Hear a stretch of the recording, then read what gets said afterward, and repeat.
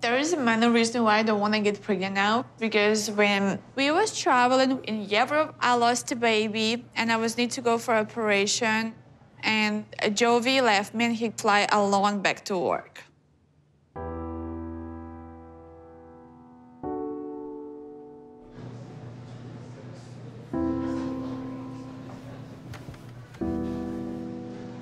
What does she have to say?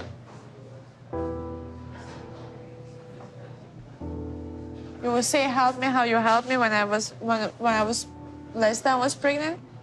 The same time that you will help me like that time. When you leave me alone, you have to go to work, but for your woman's go to operation with your kids, you was not caring about no passport or the country. First of all, not my fault. You your to go to passport. operation. You lost your And passport. I had to go to work. You was getting called to work and say, I need to come two days after. If there was a more of a situation that I understood would be such a big problem, yes, I would have. But Finish, Joven. This is stupid. You know I was need to go to operation. You still leave me there. How can I trust you after what you did? How can I born for your baby after you leave me in the other country without passport? How can I trust you after this? How can I born your kids if I know that you can leave me alone? How? Sorry. What you want me to tell you? This is not sorry, Jovi.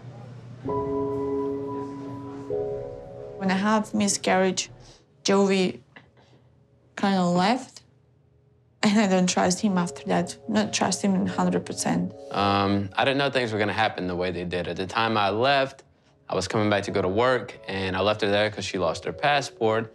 But what I didn't know was she'd have to overgo an operation and all this. This was something that happened once she was stuck in Albania. It didn't happen before I left. There was no Jovi We- before we was in Croatia, and we go to the doctor, and doctor And he said, said, by the time you get back to Ukraine, Jovi. everything will be good for you to go He to the don't doctor. say that. Yes, he did. You need to show me that I can trust you, but you don't show me after this time that I can trust you. Finish. Really, I don't know what to say about you.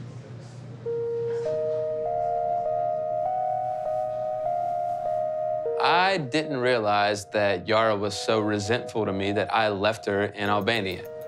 I knew that I made a questionable decision. I didn't expect it to be brought up a year and a half later, but obviously it has been. Of course, it bothers me. It is not the conversation I want to have with Yara, especially when I'm flying out to work in the morning. This is a terrible thing uh, to be the topic of our conversation. Sorry for talking about this. I shouldn't even brought this up. I see it upset you. Amazing romantic dinner. Thank you.